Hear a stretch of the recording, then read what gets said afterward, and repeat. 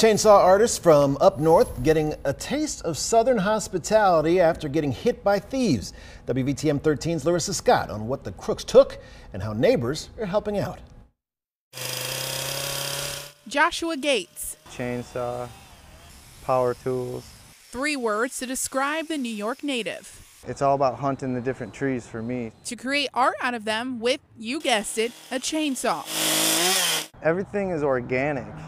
I get to go all across the country meeting folks. Which is how he ended up in Harpersville, Alabama. Just all around a good time, a good atmosphere. But a good atmosphere turned bad. I posted about a theft that happened here. Someone stole his artwork and a $1,200 chainsaw.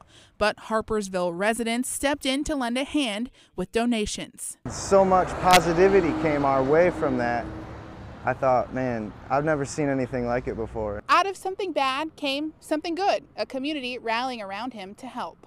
I was feeling like it was a good idea and a good time to maybe gear up towards going somewhere else for work, but the folks changed my mind real fast. Convincing Joshua Gates he should stay a while in Harpersville. Larissa Scott, WVTM 13.